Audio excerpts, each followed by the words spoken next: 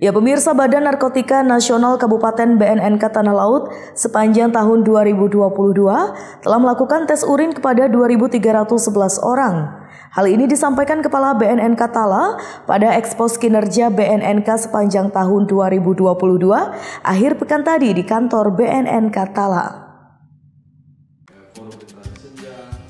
Didampingi Kepala Bidang dan Seksi di lingkungan Badan Narkotika Nasional Kabupaten BNNK Tanah Laut, Kepala BNNK Tanah Laut AKBP Katamsi Satretna Setiawan menyampaikan capaian kinerja BNNK sepanjang tahun 2022.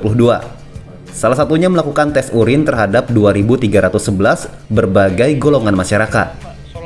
Dari 2.311 orang tersebut, 1.836 di antaranya aparatur sipil negara ASN, masyarakat umum, tempat hiburan, dan razia pekat 143 orang, di lingkungan pendidikan 135 orang, dan perusahaan 197 orang. Selain itu, BNN Katala melalui tim Kalong Macal berhasil mengungkap dua kasus penyalahgunaan narkoba dengan enam orang tersangka. Meski ada tindakan represif, melalui seksi pemberantasan, Ketua BNN Katala memastikan deteksi dini tetap menjadi fokus melalui masing-masing seksi, seperti seksi pencegahan dan pemberdayaan masyarakat P2M dan seksi rehabilitasi.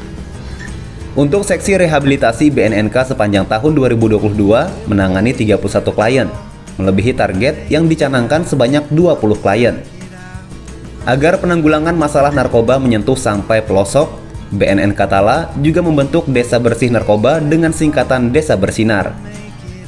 Menurut Katamsi, deteksi dini tetap akan menjadi fokus penanganan masalah narkoba di tahun 2023, termasuk melibatkan masyarakat dalam pencegahan dini di lingkungan masing-masing ini adalah penyelenggaraan e, eh, IBM intervensi berbasis e, masyarakat yang dilaksanakan di beberapa wilayah bersinar atau bersinar narkoba, desa bersinar.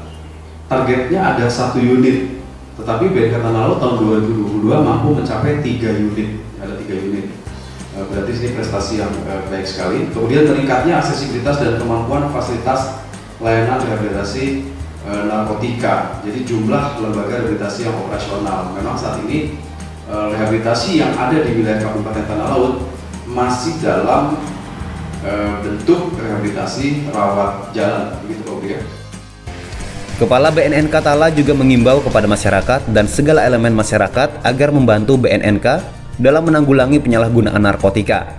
Karena menurut Katamsi, polisi dan BNNK saja belum cukup untuk memberantas penyalahgunaan narkotika di tanah laut. Dari tanah laut, Zulkifli Yunus, Ainus melaporkan.